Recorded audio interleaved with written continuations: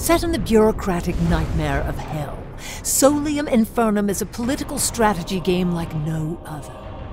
The Prince of Darkness has vanished, and to ascend to the Dark Throne as ruler of Hell, you must prove to the Infernal Conclave that you are the most powerful Archfiend of all. Equip powerful relics and cast rituals that can turn the tide of battle. Command legions, summon colossal titans, bribe minions, and attempt to outbid your fellow archfiends in the bazaar, Hell's blind auction house. You'd best learn the rules of Hell fast, and how to exploit them, Archfiend. For it is malice and malevolence that win favor in Hell. Insult and extort your enemies, goading them into open warfare. Or worse, humiliation. Scheme in your sleep with asynchronous multiplayer, investing just a moment each day in games that can last for weeks.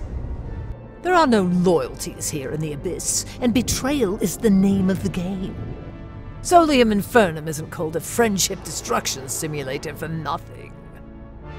Better to rule in hell than serve in heaven.